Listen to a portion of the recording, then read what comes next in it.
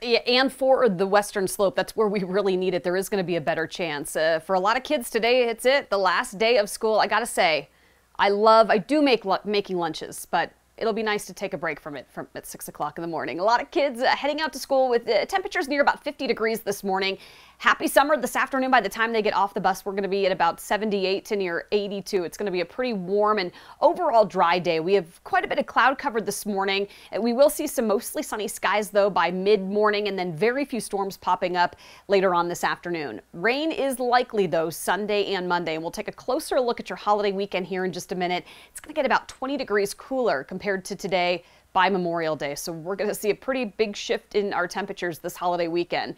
Right now, very mild. It's a little chilly in spots. Uh, right now, Evergreen 38, Nederland you're at 39, closer to 50 here in town. So we'll be right around 50 through the early morning drive.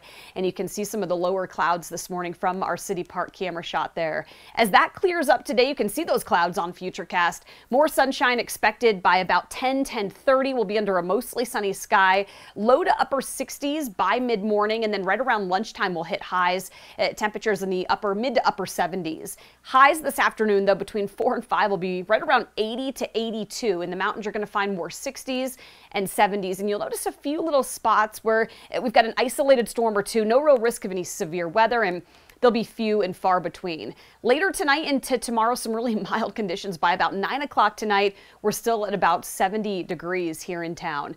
Early Saturday morning, waking up to again a little bit more cloud cover, 50s early tomorrow morning, and then some low to mid 70s for highs tomorrow. Now, here's the change there's going to be a better chance for some scattered storms and showers by about 2 o'clock tomorrow afternoon which will continue through late afternoon and early evening. Uh, temperatures will then at that point drop. It's going to be cooler once those storms and showers roll through, and a little rain is going to be possible with winds shifting Saturday night into Sunday with cooler, wet weather getting ready to settle in. The risk of any severe weather tomorrow mainly over the southern, southeastern portions of our state. We may see a few of these storms up over the northeastern plains uh, produce some larger hail and gustier winds tomorrow.